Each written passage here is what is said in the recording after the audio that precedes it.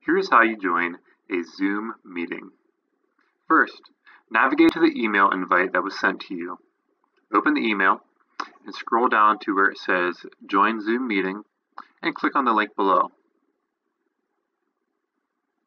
If you haven't already downloaded the Zoom Meeting app, you want to click on Download and Run Zoom and just follow the instructions from there. If you have it already, click on Open Zoom Meetings. Once the meeting launches, you're going to be asked if you want to join with your computer audio or by phone call. Um, most of the time you will be joining with your computer audio.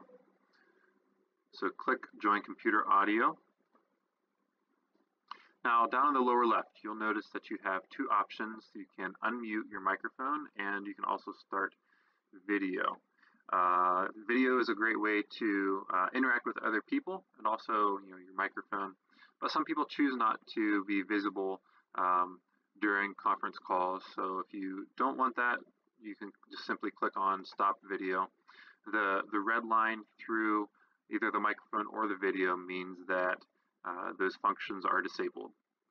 I recommend uh, muting yourself during uh, most Zoom meetings uh, because your microphone will pick up any background noise that is in your room or in your house, including pets, uh, maybe side conversations, noise from kids or grandkids, and that uh, noise can actually drown out the presenter.